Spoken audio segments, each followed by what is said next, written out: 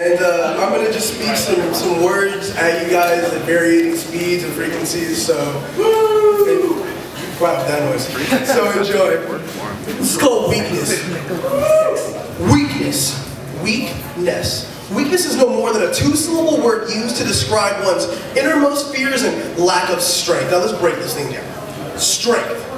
What is strength? Is strength the ability to lift up heavy objects, or is strength the ability to stand up against evil and object. Now, what about inner strength? You know, the strength to reach deep down inside to find the motivation not to hide, to find the motivation to do the things you need to do to better you, ridding yourself from the things holding you back from becoming a better you. Now, what about innermost fears? You know, the fears that have been buried deep, deep, deep, deep, deep down inside for countless years. Now, my fears may be different from your fears, but nevertheless, they are our fears. Now these are the fears that can bring even the fiercest of warriors down to tears. These are the things we've been ducking and dodging for who knows how long, but because of them, we cannot stand up and be strong. Simply put, we've been accustomed to them for so long. Not hiding feels oh so long. Now, I don't know about you, but I'm not a fan of this trend. In fact, I think it's high time we take a stand and it ends. Now, who's with me? Who's ready to put an end to these fears? Who's ready to put an end to these tears? Who's ready to stand firm and carry on? Who's ready to put an end to this weakness and finally move on and be strong? Thank you. Broken hearted but not broken. Busted, but in no way am I a buster. Feeling helpless, but I know I'm not alone and there's a chill that won't leave these aching bones. I may be weak, but I'm not a coward. And I've searched for joy in the ground, well, it's been scoured. And I've lived a, a, horrid life, and my first memory was that of my mother being taken away by a dull kitchen knife.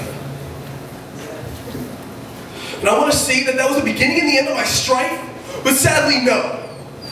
That was just the beginning of my sorrow and golf life. And as a young man, depression got the better of me more often than not. There were days when I would have gladly welcomed a stray gunshot. Sadness and depression were so prevalent in my life, I felt like I had no other option than to pick up my own knife. I felt like there was no other option than to take my own life.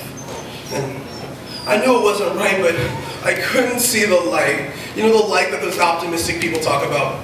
The light at the end of the tunnel? Yeah, well, for me, life was more like a funnel.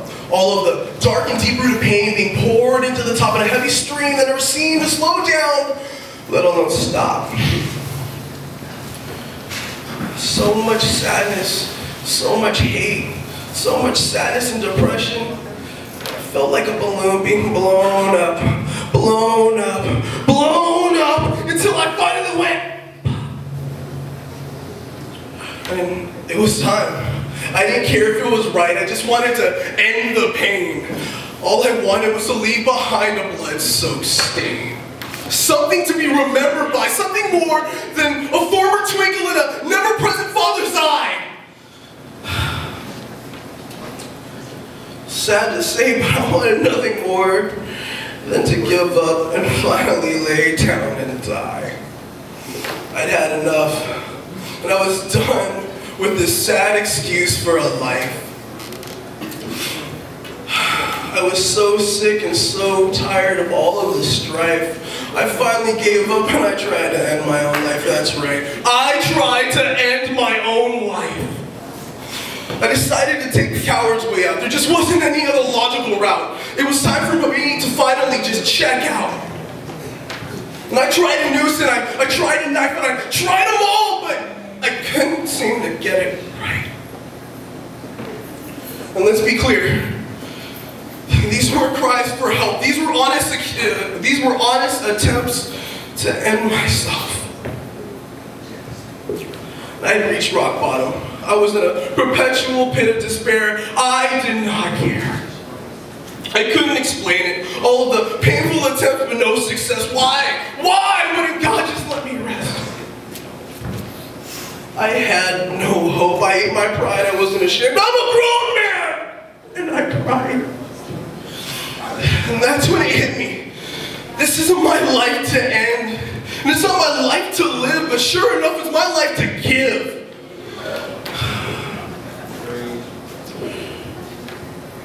And I'll admit, the whole idea of giving my life to God was a little odd. But I just couldn't do it anymore. Ending my life was no longer an option.